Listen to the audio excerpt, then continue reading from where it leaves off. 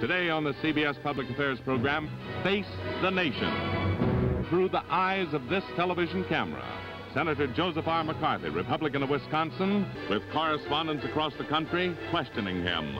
Live from Indianapolis, New York City, and also here in Washington. Here's the moderator of Face the Nation, Ted Koop. How do you do? And welcome to Face the Nation. Senator McCarthy, on the eve of this historic special session of the United States Senate, called to debate a motion to censor you, millions of Americans are wondering what it's all about. To direct their questions to you, our panel of newsmen is now assembled nearly halfway across the continent. Here in Washington are William H. Lawrence of the New York Times and William Hines, Jr. of the Washington Star. Standing by nearly 800 miles away in Indianapolis is Jep Cadou, Indiana manager of International News Service, with a question of interest in the Midwest. Come in, Jep Cadou. Do. Senator McCarthy, several weeks ago, you predicted that the United States Senate would censor you, and several days ago, Roy Cohn told us in Indianapolis that the cards were stacked against you. Uh, how do you feel about that now? And uh, uh, if you feel the same way, uh, why, Senator? The Democrats, I believe, will go pretty much down the line on this.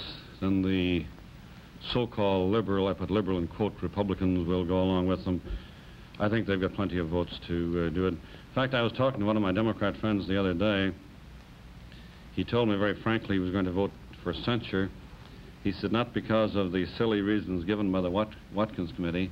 He said, but because you labeled the Democrat Party as the party of communism. You issued an open invitation during the Army McCarthy hearings for people to continue to supply you with information. That's right. Regardless of its stamping. Are you getting uh, new information from people in this administration Bill, on let that me, basis? Let me change your question a bit. I invited them to give information of wrongdoing, graft, corruption, communism. I am continuing to get that information. Getting documents, too? Yes. Mm -hmm. Are you mm-hmm. getting any more as a result of your appeals than you got beforehand? Mm, has there been a flow build up as a result of that? It's pretty hard to say whether it has increased or decreased. I've been so busy being investigated and preparing for this uh, uh, lynch bee starting tomorrow that I haven't had uh, an opportunity to. You call That's a meeting of the United States Senate a lynch bee? Well, let's call yes. it. Let's call it the uh, censure. Uh, no, but I'm interested in this because the Senate's an institution of government. It's part of the Congress. Well, okay, let's, let's answer Bill. Let, us answer it, Bill. Let's do. The, the, there are a great number of the Democrats who have indicated uh, in private conversations that they will censure McCarthy not because of what is in the Watkins report, because of uh, I've labeled them as the party of communism, even though I have always pointed out that there are millions of Democrats who are good, loyal Americans and many office holders here in Washington who are anti-communist.